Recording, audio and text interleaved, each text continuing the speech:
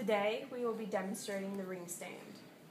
First used in 1865, the ring stand is a metal rod attached to a heavy rectangular base. It is used with clamps, used for holding up laboratory equipment such as Erlenmeyer flasks, Florence flasks, and test tubes. When handling the ring stand, you should use both hands to carry it just in case you drop it.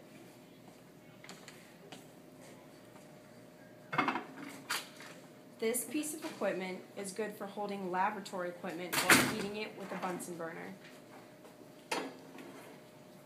If you ever find yourself needing both of your hands for pouring or mixing chemicals, you can use the ring stand to hold the equipment you are using.